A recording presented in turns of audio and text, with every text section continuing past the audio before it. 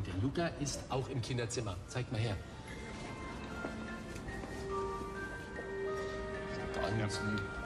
Rote Haare. Wer von, Ähm, wer von euch hatte rote Haare? Lukas Patenonkel.